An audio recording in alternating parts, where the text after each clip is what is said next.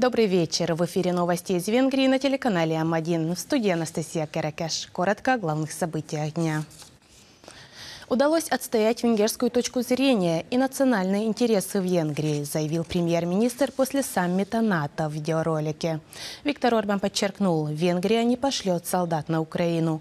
И было принято к сведению, что не пошлет и оружие. Глава правительства заявил, на саммите была отвергнута идея о закрытии неба над Украиной. До сих пор пять стран выразили свое намерение присоединиться к венгерскому боевому батальону, заявил министр иностранных дел на своей странице в соцсети. Петер Сьярту отметил, главная цель Венгрии по-прежнему создать гарантии того, что она не будет втянута в войну в соседней стране. Глава МИД сообщил, НАТО решил укрепить восточный и юго-восточный фланг Альянса, где в общей сложности будет создано 8 новых батальонов.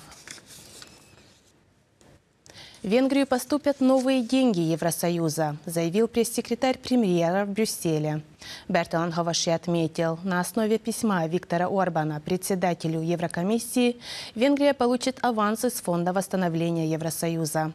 Пресс-секретарь добавил, это практически означает, что через несколько недель для Венгрии откроется источник в размере 300 миллионов евро без каких-либо предварительных условий. Экуманическая служба помощи запустит новую программу для Украины на ближайшие три месяца в размере 1 миллиарда форинтов. Председатель службы Ласло Лехел в этой связи отметил, в рамках этой программы продолжатся регулярные поставки. Ежемесячно планируется поставлять 250 тонн помощи из Венгрии в Украину. Крупномасштабная программа помощи охватит 10 регионов Украины.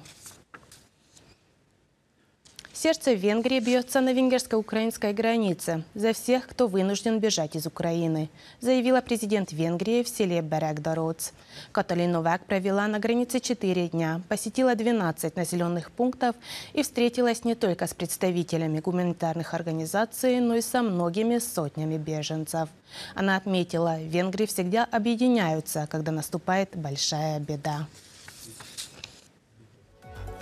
И это все новости на сегодня. Спасибо за внимание. Увидимся завтра в это же самое время. Всего доброго и спокойной ночи.